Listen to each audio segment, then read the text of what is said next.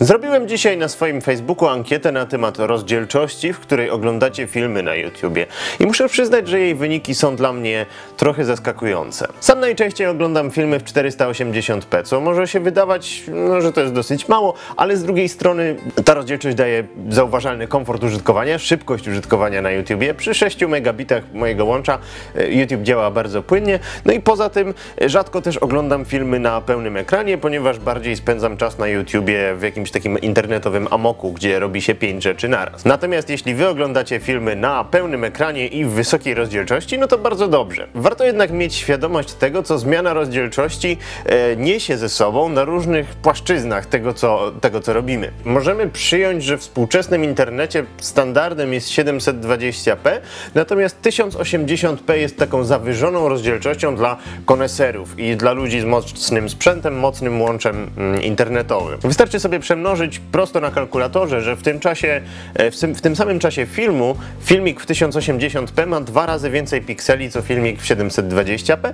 co oznacza, że będzie on się nam renderować dwa razy dłużej, no i prawdopodobnie będzie zajmować dwa razy więcej miejsca. Oczywiście w praktyce te zaokrąglenia nigdy nie są takie dokładne, ale przyjmijmy. Z punktu widzenia widza, im większa rozdzielczość, tym lepiej. Oczywiście na tyle, na ile pozwala nam łącze internetowe. Natomiast z punktu widzenia twórcy, wyższa rozdzielczość zwykle oznacza bardziej mozolną pracę i dłuższy czas renderingu i wolniejszą pracę komputera na każdym etapie składowym powstawania filmu. Oczywiście w przypadku, kiedy raz na jakiś czas po prostu kręcimy sobie jakiś filmik, to nie ma specjalnego znaczenia, bo czy on się nam będzie renderować 10 minut czy 20, yy, no jakby nasze życie się nie zawali z tego powodu. Natomiast w takich bardziej komercyjnych zastosowaniach, że na przykład, nie wiem, jesteśmy na targach E3, mamy 20 filmów do wyrenderowania w ciągu nocy. Kolejkujemy to, będzie się robić całą noc. No to tutaj już faktycznie trzeba mieć takie rzeczy na uwadze, ponieważ nasz komputer po prostu pewnych rzeczy nie przeskoczy. Po co więc twórca ma w ogóle kręcić w 1080p? Jednym z powodów jest tak zwany montaż wewnątrzkadrowy, czyli zrobienie czegoś takiego.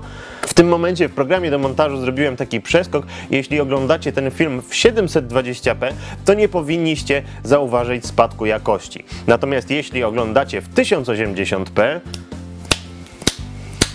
no to teraz e, powinniście widzieć, że jednak kiedy ten ekran jest taki zoomowany, no to widzimy spadek jakości, ponieważ to są te same piksele, tylko troszkę rozciągnięte. Inną rzeczą, którą warto mieć na uwadze, kiedy wybieramy w jakiej rozdzielczości kręcimy film, jest liczba klatek na sekundę. To jest często pomijany aspekt, a bardzo podstawowy, ponieważ e, liczba klatek na sekundę bezpośrednio się przelewa na płynność naszego filmu.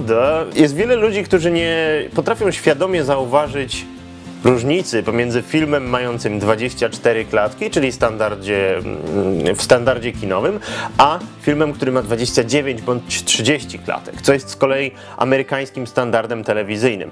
Tymczasem e, na YouTubie te różnice bardzo wyraźnie widać. Nie każdy sprzęt dostępny na kieszeń prosumera, ech, okropne słowo, nie każdy sprzęt dostępny na kieszeń prosumera daje nam pełną e, swobodę wyboru liczby klatek na sekundę. Ja na przykład zwykle kręcę w 720p z bardzo prostego powodu, że w 720p mogę e, kręcić w 60 klatkach na sekundę. A dlaczego to robię, skoro na YouTubie i tak płynność mojego filmu zostanie przycięta do 30 klatek na sekundę? Ponieważ dzięki temu mogę zwolnić film o 50% i nie zauważycie spadku płynności. Tak wygląda spowolniony o 50% obraz nakręcony w 1080p w 30 klatkach na sekundę.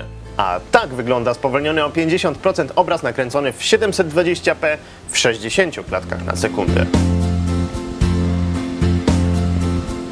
Spowalnianie o 50% może nie jest zbyt praktyczne, jak kręcimy tak zwane gadające głowy, ale kiedy kręcimy przebitki i jakieś zbliżenia, no to możemy w ten sposób łatwo uzyskać dość profesjonalny wygląd, e, tak jakbyśmy mieli jakiś stabilizator obrazu, jak Steadicam na przykład.